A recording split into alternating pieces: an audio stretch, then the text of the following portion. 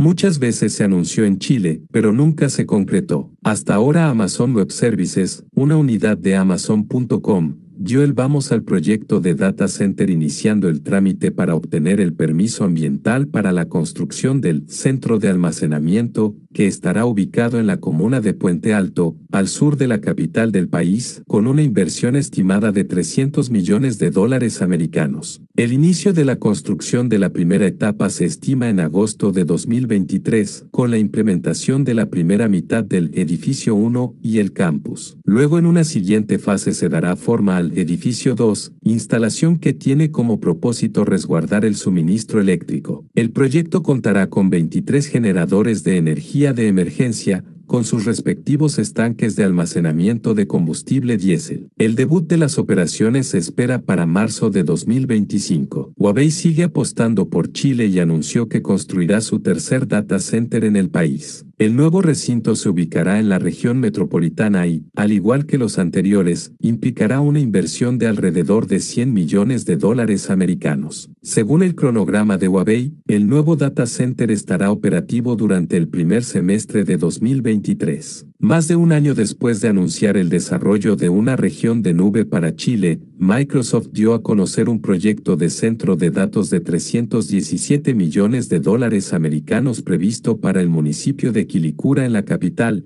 Santiago. Según la descripción del proyecto, las obras contemplan la construcción y operación de un edificio de almacenamiento dividido en dos unidades, donde se instalará el equipamiento tecnológico del centro de datos y toda la infraestructura necesaria para su funcionamiento. La instalación ocupará una superficie de aproximadamente 68 mil metros cuadrados. Este nuevo centro estará operativo en el año 2025. La marca sueca de muebles y decoración IKEA confirmó que abrirá su primer tienda en Chile el próximo miércoles 10 de agosto, en el centro comercial Open Kennedy de Las Condes. En poco menos de dos semanas comenzará a operar la primera tienda de la cadena en Sudamérica, con poco más de 15.000 metros cuadrados, de los cuales 8.700 están destinados a ventas, los clientes podrán sumergirse en una experiencia que contempla salas de exposición de muebles,